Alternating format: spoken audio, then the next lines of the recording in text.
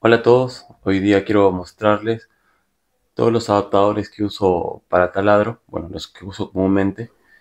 Estos adaptadores para taladro son los más comunes, son imantados. Entonces este es el más básico que, que encontramos. De ahí tenemos esta, que en especial tiene que se corre para que cuando uno le ponga la punta y el tornillo a veces uno cuando está atornillando se mueve y se sale el tornillo.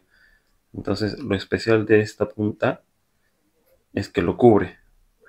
Entonces cuando baile no se va a salir.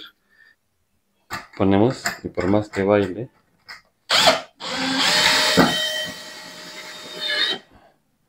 ya está atornillado. Este es el adaptador de igual que ahorita está en posición recta, es muy bueno, pero también tiene una característica, cuando necesitas, puedes jalar esto y te da un ángulo de 15 grados, así como lo van a ver. Y ahí sigues atornillando el ángulo. Si yo quisiera atornillar aquí, cerca a esta pared, mi taladro no me lo permite porque chocaría, ¿no? Chocaría aquí y se separa mucho la pared. Para eso es que funciona esto.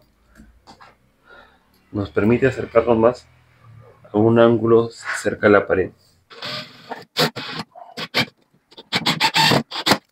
También tenemos este adaptador que es para puntas de impacto. Comúnmente lo uso para los tornillos más grandes.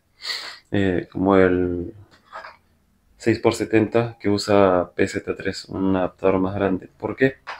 Porque en esta parte tiene un imán que cubre exactamente la cabeza del tornillo.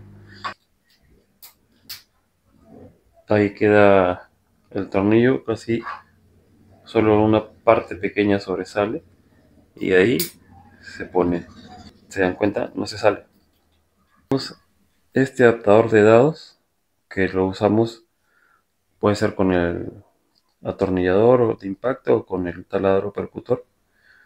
Lo interesante es que tiene el encastre hexagonal y permite ponerle dados para que instales tirafones de repente o tuercas, pernos con tuercas, ¿no? Tenemos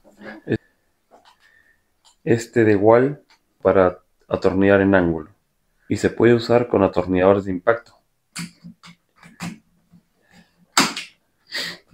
Puede atornillar en 90 grados. Yo quisiera atornillar aquí en este espacio, que es pequeño, hacia adentro. El taladro solo no entra. Este adaptador, ven que sí entra y podría atornillar para arriba, para abajo. Este sí es un adaptador que he usado bastante, ya se ha gastado tiene su extensión flexible donde puedes intercambiar el cabezal. Y ahí está la extensión flexible.